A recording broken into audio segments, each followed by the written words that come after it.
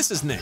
He bought an Ellies inverter trolley for his business, which means during load shedding, his lights, tills, computers, and card machines stay on. And that means he doesn't have to close his doors. And that's a good thing, because more money means more expansion, which means bigger offices, higher offices, corner offices with better views. And that's also a good thing. So don't let load shedding leave you in the dark. Get an Ellies inverter trolley and see that good things happen to good people, and good people don't let load shedding get in the way of business. Ellies, connect with quality.